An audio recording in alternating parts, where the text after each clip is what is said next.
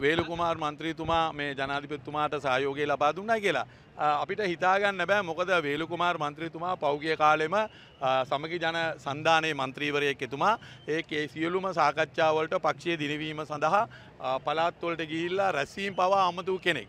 මේ ගිය සතියේත් මම හිතන්නේ අපේ නායකතුමා සහභාගි වෙච්ච රැස්වීමකත් කතා කළා.